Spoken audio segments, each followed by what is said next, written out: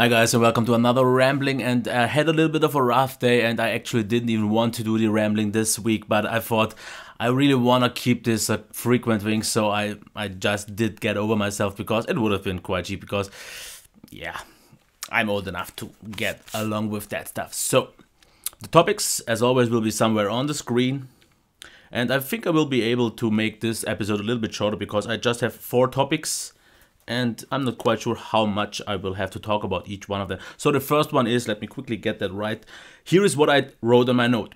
You can tell whichever or you can tell which reviewer uses a device properly and who doesn't and the time he invested in reviewing it.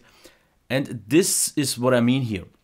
I see a lot of reviewers and especially if you follow them on their social channels, you see when they get their device and then you kind of along with that see how they actually re review it. Most of them pretty much always jump right ahead and check the camera. They use it for a few days and then you already see them working on their b-roll and all that. And once you see the full review yes it looks very cinematic. It looks really nice. But at least some of the ones that I have in my stream and I don't I really don't want to bash any of them because everyone has its own style. Everyone has its own things that are important for him. Some of them are very much into photography. That's why they talk so much about the battery. I mean, the camera, maybe not so much about the performance or the build quality or anything on like the display. But for me, for example, battery life is very important. And I know, at least from all the comments and from what I see from people talking to me on my social channels, that battery life is pretty much still the most important thing for everyone. And that's why I have a heavy eye on that. That's why I at least post five or six screenshots of my battery in my review, talk a lot about them, and I get it. Everyone has different uh, use case scenarios, everyone has a different mileage of battery. But when I see a review that it could be as cinematic and as beautiful and as amazingly edited as it is, but then I get something like that, battery life was good. It was good for about one day, maybe a little bit more then my thought is, and please, this is no insult on anyone, but my first reaction then is, what? What the fuck? And just sorry for my little bit of a little bit surprise because I didn't hear that the fans of my MacBook are running. Not quite sure why, because the only thing it does is display the pics. Actually, these are the first viewer sent pics from me. I got like from five people for now. Mostly are from one but it's cool to get some of them really really nice and I definitely want more. You know the address but if not it will be down below. But let's get back to the point. When I see a battery stat like it's good for about a day, maybe a little bit more, then I think just what what's that supposed to mean? You didn't give me any screen on time. You didn't say how long the day was. What did you do on that day? If you for example, I have really light days when I do almost nothing. I reply maybe on three, four mails check a little bit of a few brow uh, websites and so on, Twitter, and that's it. Maybe I have done like one and a half hours of screen on time. Of course, with that use, I yeah, every phone would get me through a day and a little bit more. But then I have days with four or five hours of screen on time.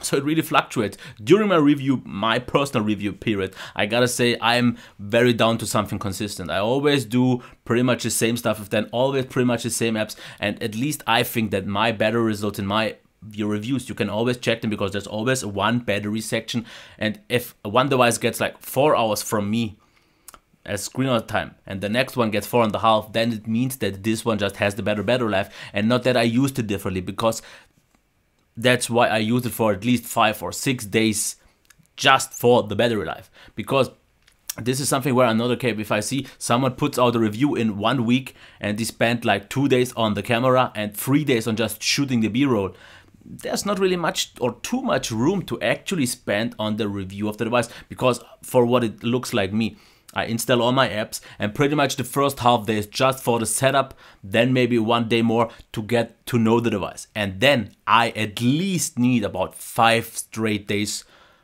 of also of work days, not just the weekend, to get a feel for the battery life. So I would say for me, a good review takes about seven days just for the device to know it yourself. What you put then in the time for the camera and for the editing, for the B-roll, that is up to you. But everything under a week, or maybe let's say let, let's say five or six days, I can't really as great as the video has been shot, take too much importance on it, and that's why I don't give anything of weight on that if I would have to choose on that for for if I would like to buy this device. So I'm not so happy about that. That's it for that.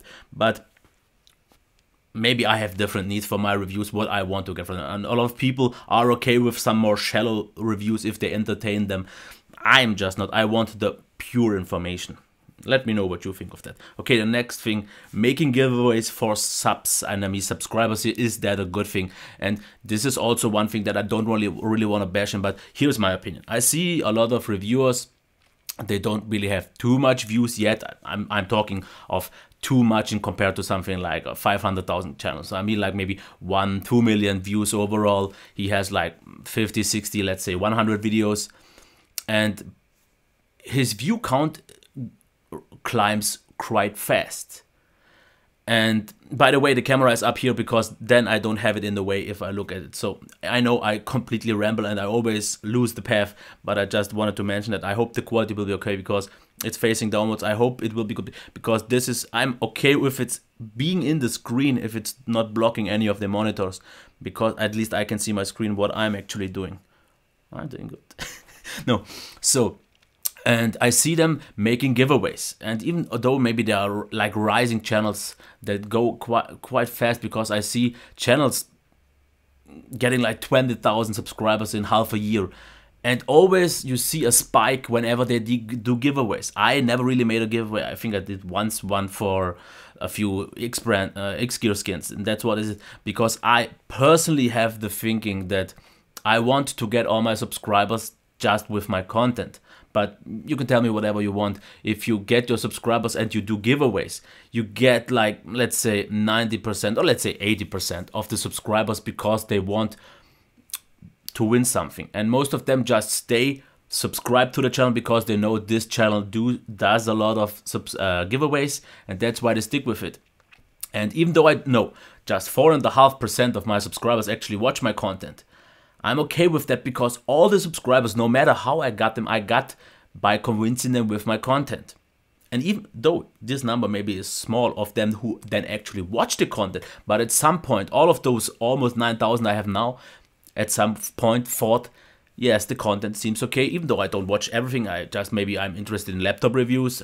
Then I only watch the laptop reviews and don't watch 90% of the other videos, or I just watch the smartphone reviews. Or a lot of people actually got back then to subscribe to my channel because of my custom ROM reviews. Of course, those maybe are still subscribed to my channel, but don't watch anything yet because I don't do them anymore. Mostly because I don't have a device to use with custom ROMs. So I hope you get the point. I want to earn my subscribers, and I I'm personally not in the in the thinking of that it's okay by doing it by subscribers. At least I don't want it. I have no problem if people do that. And it's really nice that they do it because after all, some of the people actually win something, even though the chances, the bigger the channel gets, are slower, uh, I mean smaller. Because like if you have 100,000 subscribers and you give away one thing, and the bigger the channel gets, the chances get smaller. But it's nice that some people can win something, but personally, maybe you thought, hey, I would like to get something to get from a giveaway from you, but sorry, I don't think I will do a lot of giveaways even in the future because I want to earn my subscribers. And if that means that I raise slower or maybe not at all, I'm okay with that because at least I know I didn't get them by kind of paying for it. Let me know what you think. I'm, I'm quite sure everyone of the viewers from a viewer perspective knows to appreciate the giveaways and likes that that for. And I can't disargue or disagree with that, but personally, I don't really even participate on those giveaways because I know chances are that slim that I would win something, so I'm not even trying it. So, the next topic is what's the one deal breaker for you and what's the one don't care feature. So, what I mean is if you had a device that is perfect in everything, has a perfect display, has a perfect sound, perfect feel in hand, and then the camera is crap if that would be a deal breaker for you. And I want to know what this one feature is. So is it the camera? If everything of the rest is okay or great, would that alone be enough for you to be a deal breaker not to buy this device? Or would it be the display? Would it be the build quality? And then I want to know something that what's the one feature that you don't care at all for? So if a device is good in or okay in everything, oh no, I'm, not quite sure where I wanted to go with that. And what's the don't care feature? So what's the one feature that the device could offer you that you don't care at all? So try to make of that whatever you want because sometimes it's like a week ago or two weeks ago when I make these notes and I'm not quite sure what I actually meant by that. Sorry for that. Okay, so the last topic for today is Snapdragon 615 is shit. The Snapdragon 410 is great. And the 810 isn't that bad at all, after all. So, I actually wanted to make a single video just for that and calling it the worst SoC of 2015. And I wanted to answer or started with no, it's not the 810. Why? Because the 810, after all, delivers a great performance. It gets very hot unless the device actually gets to manage with that heat. Like, for example, the Sony Xperia Z5 seems to do, the Nexus 6P seems to be able to.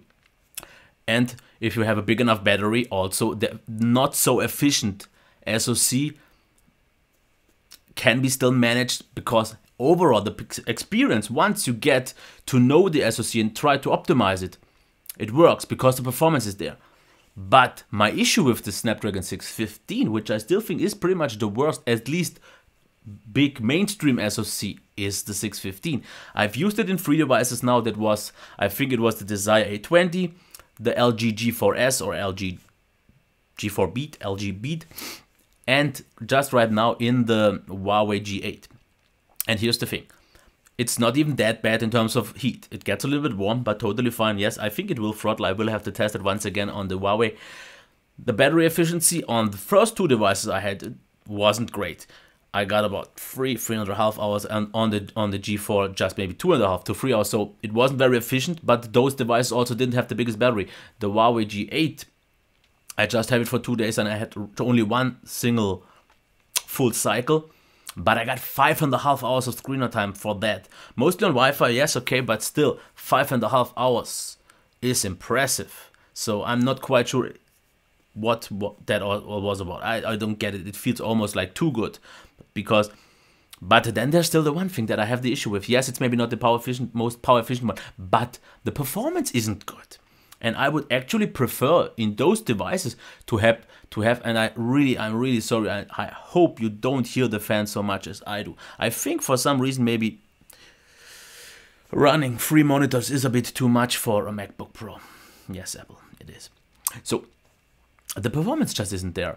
It is a very laggy device. It can be smooth in certain situations, but there are especially some apps like the old native browser or any app that renders his or her, its web pages with it is very laggy. Google Plus, very laggy. YouTube, and I will show this in my review.